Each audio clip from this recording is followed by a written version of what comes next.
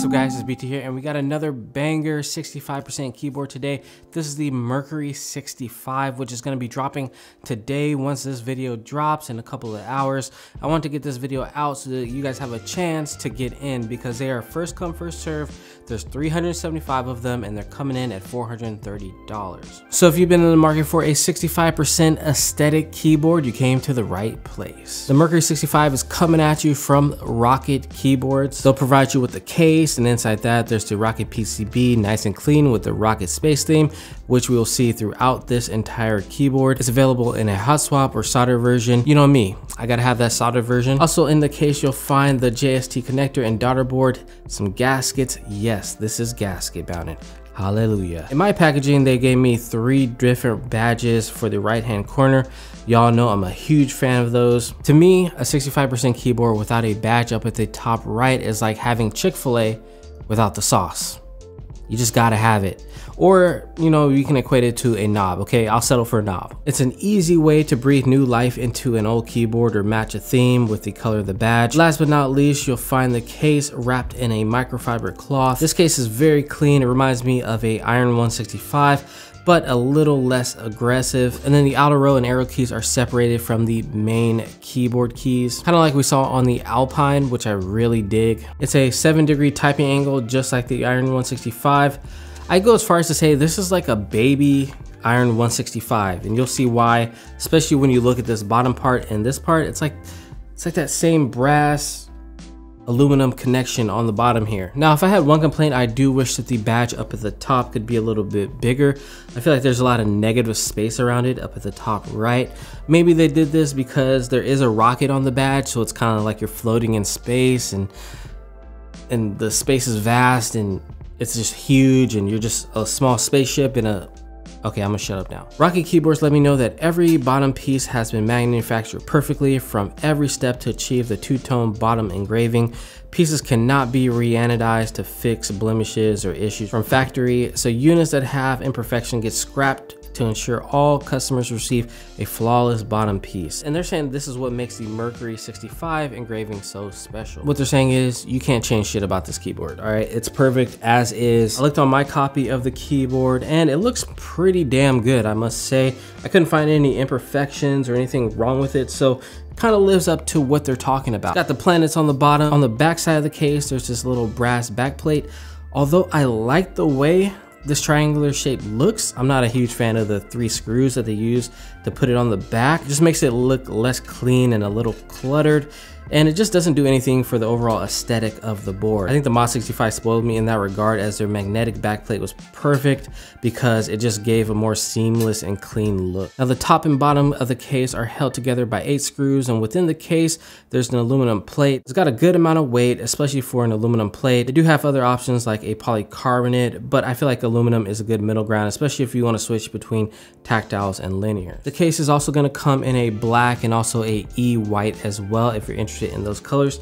I really like the theme that I went with. We'll talk about this more later. On the bottom side of the top of the case, there's one screw that screws in the badge. The badge is available in a brass, silver, and rose gold and black. My favorite is the brass personally, especially with this navy. I think if you were looking at a GMK set that's running right now, GMK Rudy would look sick on this keyboard. The gaskets go into the cutouts around the top and bottom of the case. I give them props for actually having the proper size of gaskets because recently some of the keyboards that I've gotten, the strips have been way too long and I have to like jam them into the slots and it just feels like I'm doing something wrong. These fit perfectly within the cutouts of the bottom and top of the case. The switches I went with were the new lavender linears. These have been highly recommended. They came with Krytox 205 grade zero lube and they were filmed. This is my first time trying them, but word on the street is it's gonna have tactile gang in shambles. And then for stabilizers, we use the Durock V2s and we just soldered everything. If you wanna know how to solder or how I solder normally, go check out my guide on how to solder your keyboard. After all that was done, I just connected the JST cable to the PCB and then screwed down the daughter board into the bottom of the case with the four provided screws. Be careful though, there's no real ledges on the JST cable cable to pull it out. The only way to pull it out is by the cables. I hate that. It feels like I'm gonna snap the shit out of this. And before this video drop, I did mention that to Rocket Keyboards that that was something they might wanna look into. So hopefully by the actual release of this keyboard, they're actually gonna have a different JST connector. Once that's done, you can just put the top piece onto the bottom one, make sure everything is lined up with the gaskets. with gaskets, you wanna do it diagonal. So you wanna do bottom left and top right, and then crisscross and then do the middle ones. And that should give you a pretty even gasket experience. Is that a thing? Gasket experience. I don't know, I'm just making shit up at this point. Then I just paired it with GMK Mizu. You guys know, I know you guys love this set. Every time I post a set, people go crazy and I feel like it works perfectly with this. All right, ladies and gentlemen, you know what time it is. It is time for that sound test, so let's get it in.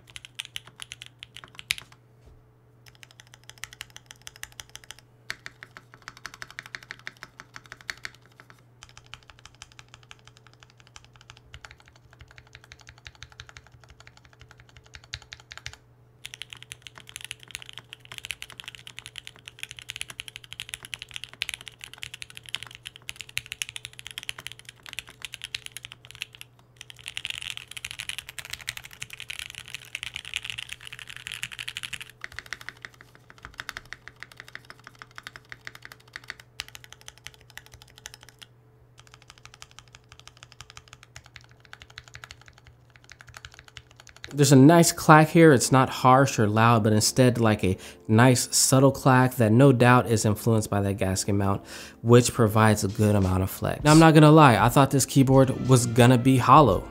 I really did. I'm not gonna lie to you, okay? But it sounds full, right? It's almost like you just went to your grandmother's house, she fed you, and came out with a big belly. It just, you just feel full. This keyboard is full okay? Even though there's no foam or bottom case or foam in between or silicone in here. It sounds really good and that's a sign of a really good keyboard. Another good sign of a keyboard before we get out of here is how much gap there is between the keycaps and the side of the case. And on this one, it's pretty consistent all the way around the keys. There's a little bit of a difference here on this outer row here on the left side of it. It's kind of big. I kind of notice it. It's kind of off. So there is a little in my opinion, a little imperfection there, but nothing to be too concerned about. And the, like I said, the bottom is a real stunner. It really reminds me of that Iron 165 bottom, that shiny aluminum, and then you got the brass with it for the two-tone. It just looks so nice. The planets look dope. So if you're in the space, this is a no-brainer. You gotta pick up this keyboard. Or if you're somebody that just wants something with the outer row, you want something that's similar to an Iron 165 and they're $2,000 now, I think this is an easy pickup in my opinion. One other thing that I'm seeing that I forgot to mention is this back port. It's actually really deep in there. This back piece plus the case, getting to the PCB is pretty far in. So that's another thing to take into consideration. It should fit most USB ports, but I think it gives a nice clean look once you push in a USB-C cable there. One other thing is that the lead time is eight months. I don't know if Mode 65 just spoiled me, but three months just sounds so good now. Even six months, eight months, dang. But I mean, if they're promising perfection on this bottom, might be worth the wait. All right.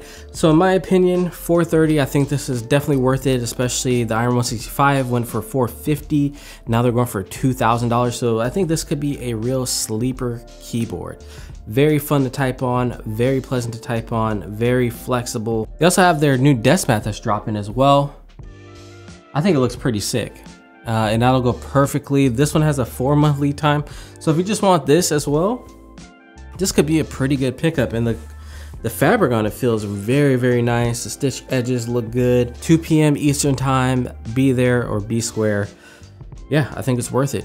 Definitely check this one out. All right, it has been your boy BT. Don't forget to like, share, comment, and subscribe, and I will see you in the next one. Peace.